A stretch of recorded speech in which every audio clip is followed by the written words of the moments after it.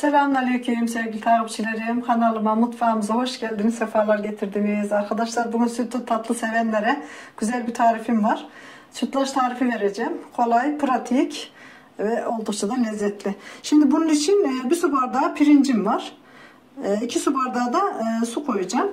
Öncelikle pirincimi güzelce ayıkladım. Şimdi nasıl yıkayacağım böyle.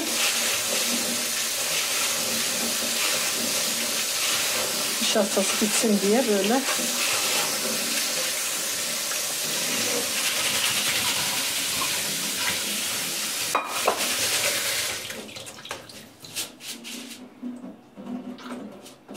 Şimdi tenceremi alıyorum.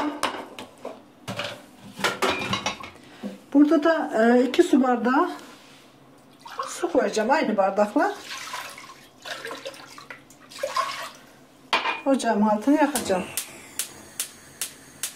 Pirincim yumuşayana kadar kaynayacak. Bir bardak pirince iki bardak suyu koydum.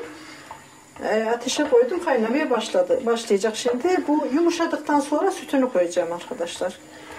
Şimdi e, altını kıstım arkadaşlar. Kısık ateşte e, suyunu çekti pirinçlerim. Şimdi bir litre sütü boşaltıyorum içine. Bu bir litre sütte de biraz kaynayacak. Şimdi süt biraz çok gibi görünür ama o kaynayınca bitecek. Şimdi böyle ara ara karıştırarak dibine tutmasın diye böyle pişireceğim. Evet arkadaşlar gördüğünüz gibi pirinçlerim pişti. Süt biraz çekti içini. Böyle. Şimdi şekerini koyacağım. Bir buçuk bardak şeker koyacağım ben.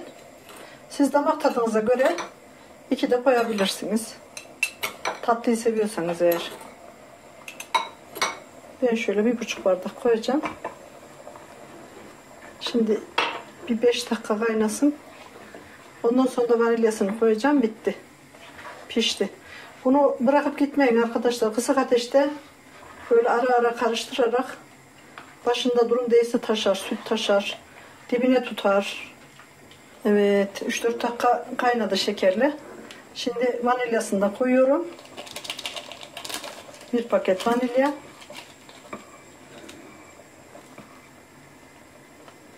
Bu da güzel aroma veriyor.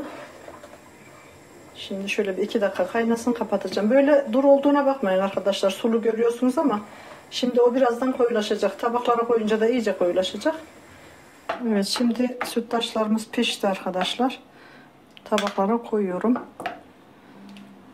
Ben böyle bu tabaklar tercih, tercih ettim. İstediğiniz tabaklara koyabilirsiniz siz. Ben böyle sade seviyorum arkadaşlar. Sade yaptım.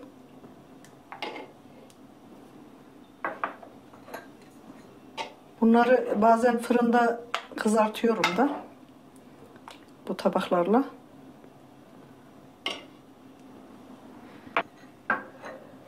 Sütlaçlarım biraz dondu arkadaşlar. Bir saat kadar bekledi. Ee, bu da tarçın. Tarçın aldım ben. Şimdi bu süs kalıbıyla üzerlerini süsleyeceğim. Tarçınla.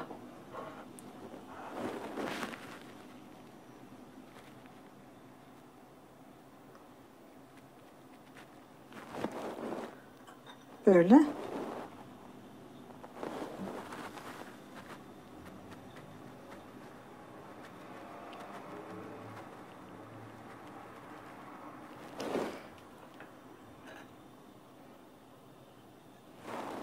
Siz kağıttan da kesebilirsiniz arkadaşlar. Yani istediğiniz şekli kesip böyle süsleyebilirsiniz.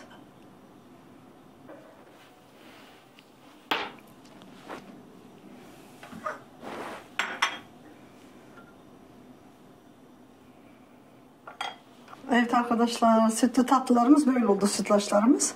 Gördüğünüz gibi. Şimdi ben bunları dolaba koyacağım. Bir saat kadar da dolapta durduktan sonra yemeğe hazır.